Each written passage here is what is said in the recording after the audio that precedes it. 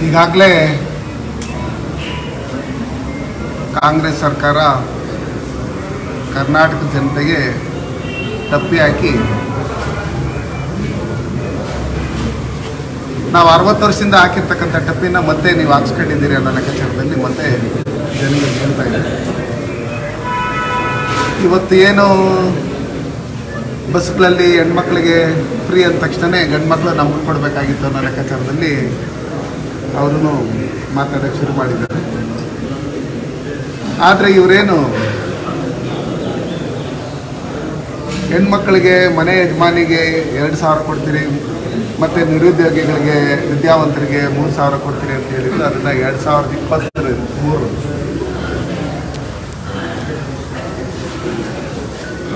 ಏನು ಎಲೆಕ್ಷನ್ ಇದು ರಿಸಲ್ಟ್ ಬರುತ್ತೆ ಪರೀಕ್ಷೆದು. ಆ ರಿಸಲ್ಟ್ ಬಂದಮೇಲೆ ಅದರಲ್ಲಿ ಯಾರು ಪಾಸ್ ಆಗಿದ್ದಾರೆ, ಏನು, ಎಂತ ಅಂತ ನೋಡಿಕೊಂಡು ಮೂರು ತಿಂಗಳೊಳಗಡೆ ಅವ್ರಿಗೆ ಕೆಲಸ ಸಿಕ್ಕಿಲ್ಲ ಅಂದರೆ ಅದಾದಮೇಲೆ ಅವ್ರಿಗೆ ಯಾರು ಕೊಡೋದು ಅಂತ ಹೇಳ್ಬಿಟ್ಟು ಹೇಳಿ ಇದು ಮಾಡ್ಬೋದು ಅಂತ ಹೇಳ್ಬಿಟ್ಟು ಹೇಳಿದ್ರು. ಜನಗಳಿಗೆ ಟಪ್ಪೆ ಹಾಕೊಂಡು ಇವರು ಅರವತ್ತು ವರ್ಷದಿಂದನೇ ಇವ್ರಿಗೆ ಮೈಗೂಡಿಸ್ಕೊಂಡ್ಬಿಟ್ಟಿದ್ದಾರೆ ಅವ್ರ ಬ್ಲಡ್ಡಲ್ಲಿದೆ ಅದು ಯಾಕಂದ್ರೆ ಇವರು ನಿರುದ್ಯೋಗಿಗಳಿಗೆ ನಾವು ಎರಡು ಸಾವಿರ, ಮೂರು ಸಾವಿರ ಕೊಡ್ತೀರಿ ಅಂತ ಹೇಳಿದಾಗ ಸುಮಾರು ಹತ್ತು ವರ್ಷ, ಹದಿನೈದು ವರ್ಷದಿಂದ ಯಾರ್ಯಾರು ವಿದ್ಯಾವಂತರು ನಿರುದ್ಯೋಗಿಗಳಿದ್ರು, ಅವರೆಲ್ಲ ನಮಗೆಲ್ಲ ಕಾಸು ಕೊಟ್ಬಿಡ್ತಾ ಇರೋ ಅನ್ನೋ ಲೆಕ್ಕಾಚಾರಕ್ಕೋಸ್ಕರ ಅವರೆಲ್ಲರೂ ಸೇರಿ ಓಟ್ ಹಾಕಿದ್ರು ಇವತ್ತು ಇವ್ರು ಯಾಮಾರಿಸ್ತಾ ಇರತಕ್ಕಂಥದ್ದು ನೋಡಿದರೆ ಎಷ್ಟೋ ಜನ ಮಾಧ್ಯಮಗಳಲ್ಲೂ ಬಂದು ಇವರು ಈ ಥರ ನಮಗೆ ಮತ್ತೆ ಮತ್ತೆ ಟಪ್ಪಿ ಆಗ್ತಾನೆ ಇದ್ದಾರೆ. ಮುಂದಿನ ದಿನಗಳಲ್ಲಿ ಇವರಿಗೆ ಚುನಾವಣೆಯಲ್ಲಿ ತಕ್ಕ ಉತ್ತರ ಕೊಡ್ತೀರಿ. ಮನೆ ಮನೆಯಲ್ಲಿ ಯಜಮಾನಿ ಅನ್ನೋ ಲೆಕ್ಕಾಚಾರದಲ್ಲಿ ಬಂದಾಗ ಈಗ ಅತ್ತೆ, ಸೊಸೆ, ಆಮೇಲೆ ನಾಲ್ಕು ಜನ ಇರ್ತಕ್ಕಂಥ ಸೊಸೆಗಳು, ಅಕ್ಕ ತಂಗಿಯರಲ್ಲಿ ನಾನಾಗಬೇಕು ಅನ್ನೋ ಲೆಕ್ಕಾಚಾರದಲ್ಲಿ ಇವತ್ತೇನು ಜಗಳಾಡಿ ಕೋರ್ಟೇಷನ್ ಮೆಟ್ಲಿಗೆ ಹೋಗ್ತಾ ಇದ್ದಾರೆ. ಇದಕ್ಕೆಲ್ಲ ಕಾರಣ ಸಂಸಾರ ಹೊಡೆಯುವಂಥ ಕೆಲಸ ಕಾಂಗ್ರೆಸ್ ಮಾಡಿದೆ ಅಂತ ಹೇಳ್ಬಿಟ್ಟು ಹೇಳಿ ಇವತ್ತು ಇಡೀ ರಾಜ್ಯದಲ್ಲಿ ಹೇಳ್ತಾ ಇದ್ದಾರೆ.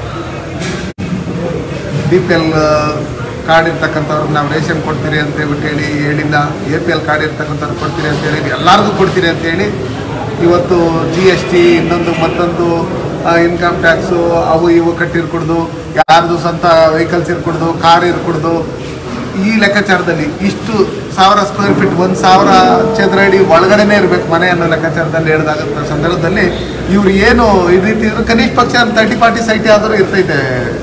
ಹಂಗಿರ್ತಕ್ಕಂಥ ಸಂದರ್ಭದಲ್ಲಿ ತರ್ಟಿ ಸಾವಿರದ ಇನ್ನೂರು ಸ್ಕ್ವೇರ್ ಫೀಟ್ ಇರ್ತಕ್ಕಂಥ ಸೈಟ್ ಅವ್ರೂ ನಮ್ಗೆ ಇದು ಸಿಕ್ಕಲ್ಲ ಸವಲತ್ತು ಅನ್ನೋ ಲೆಕ್ಕಾಚಾರದಲ್ಲಿ ಎಲ್ಲದಕ್ಕೂ ಬಂದು ಆನ್ಲೈನಲ್ಲಿ ನೀವು ಅಪ್ಲೈ ಮಾಡಬೇಕು ಅಂತ ಹೇಳಿದಾಗ ಸುಮಾರು ಜನ ಇದರಲ್ಲಿ ನೈಂಟಿ ಪರ್ಸೆಂಟ್ ಉದುರುತ್ತಾರೆ.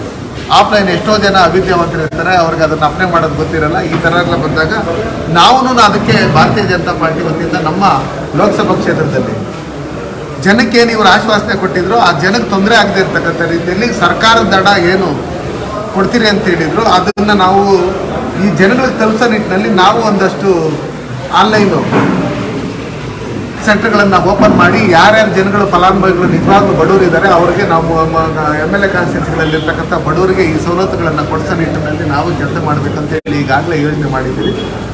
ಇವತ್ತು ಏನು ಮಾಧ್ಯಮಗಳಲ್ಲಿ ಬಂದಂಥ ಇದರಲ್ಲಿ ನಮ್ಮಲ್ಲಿ ಪಕ್ಷದ ವತಿಯಿಂದ ಗೊತ್ತಾದ ತಕ್ಷಣವೇ ನಮ್ಮಲ್ಲಿ ಭಾರತೀಯ ಜನತಾ ಪಾರ್ಟಿ ಸರ್ಕಾರ ಇದ್ದಾಗ ದೆಹಲಿಗೆ ಎ ಟಿ ಎಂ ಅಂತ ಹೇಳ್ಬಿಟ್ಟು ಹೇಳಿ ಏನು ಇವರು ಕಾಂಗ್ರೆಸ್ ಹೇಳ್ತಾ ಇದ್ರು.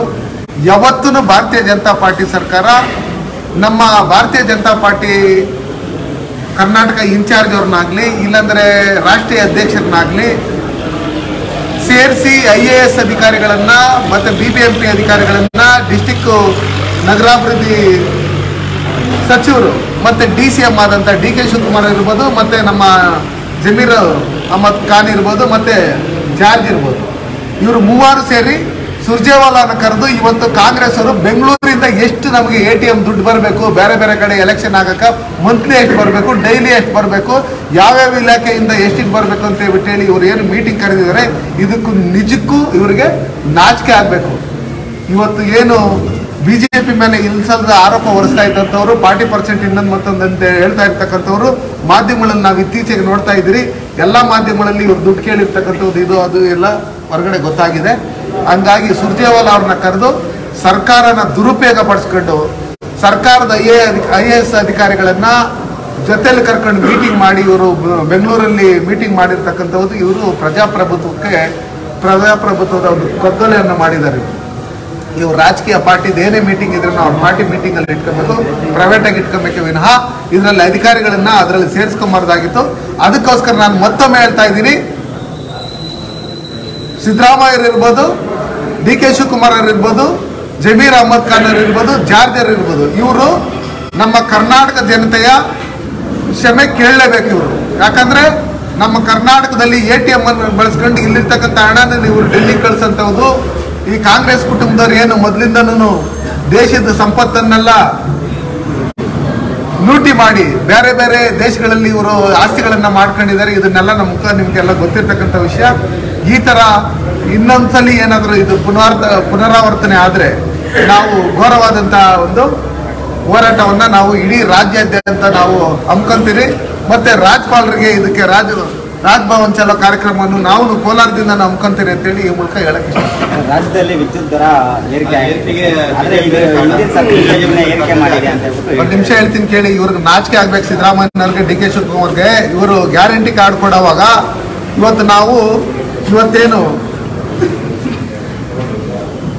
ಪಾಠ್ಯ ಪುಸ್ತಕಗಳಲ್ಲಿ ನಾವು ಅದನ್ನ ಇದನ್ನ ಚೇಂಜ್ ಮಾಡ್ತೀರಿ ಅಂತ ಹೇಳ್ಬಿಟ್ಟು ಹೇಳ್ತಾ ಇರ್ತಕ್ಕಂಥ ಇವರು ಮತ್ತೆ ನಾವು ಏನು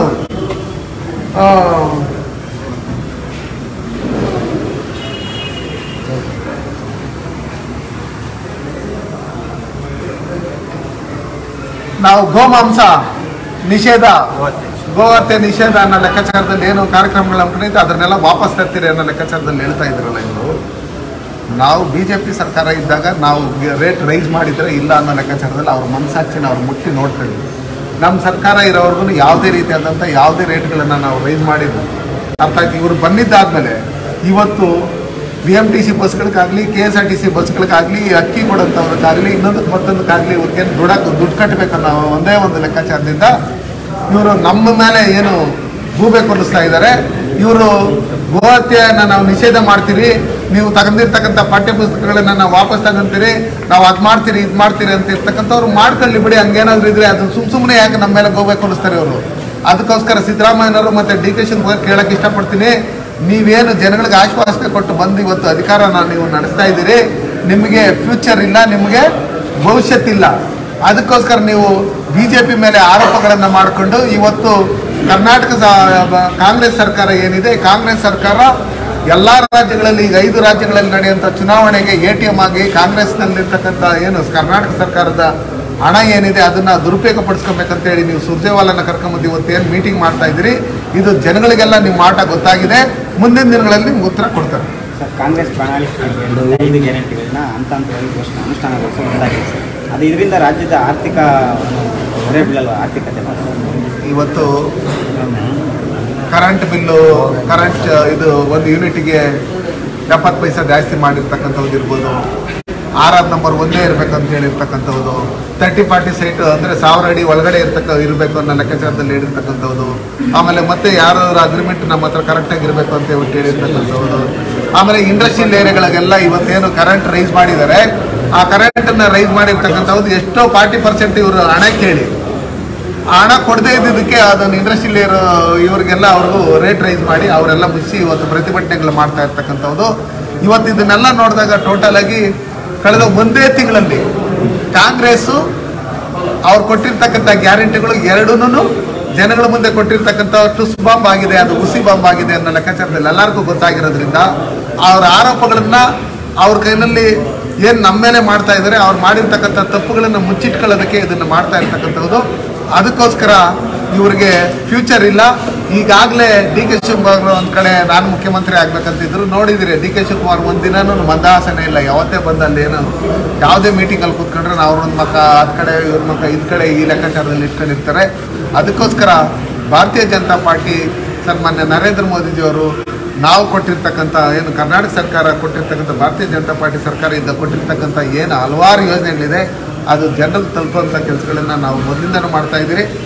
ಈಗ ಒಂಬತ್ತು ವರ್ಷದ ಸಾಧನೆಗಳೇನಿದೆ, ಸನ್ಮಾನ್ಯ ನರೇಂದ್ರ ಮೋದಿಯವರು ಪ್ರಧಾನಮಂತ್ರಿ ಆಗಿದ್ದಾದ್ಮೇಲೆ ಏನೇನು ಯೋಜನೆಗಳನ್ನು ಕೊಟ್ಟಿದ್ದಾರೆ, ಅದನ್ನು ಜನಗಳನ್ನ ಜನಗಳಿಗೆ ತಲುಪಿಸೋಂಥ ಕೆಲಸಗಳನ್ನು ಅವರಿಗೆ ಮನವರಿಕೆ ಮಾಡಿಕೊಡೋಂಥ ಕೆಲಸಗಳನ್ನು ನಾವು ಇವತ್ತಿಂದಲೇ ನಮ್ಮ ಎಲ್ಲ ಕ್ಷೇತ್ರಗಳಲ್ಲಿ ಮಾಡ್ತಾ ಇರೋದ್ರಿಂದ ಜನಕ್ಕೆ ನಿಜವಾಗ್ಲೂ ಯಾರು ಕಳ್ಳ, ಯಾರು ಮಳ್ಳ ಯಾರ್ಯಾರು ಮೋಸ ಮಾಡಿದರೆ ಯಾರ್ಯಾರು ಸುಳ್ಳು ಹೇಳಿದ್ದಾರೆ ಅನ್ನೋ ಲೆಕ್ಕಾಚಾರದಲ್ಲಿ ಈಗಾಗಲೇ ಗೊತ್ತಾಗಿರೋದ್ರಿಂದ ನಾವು ಮುಂದಿನ ಎಲೆಕ್ಷನ್ ತಯಾರಿಗೆ ನಾವು ಎಲ್ಲ ರೆಡಿ ಮಾಡ್ತೀವಿ.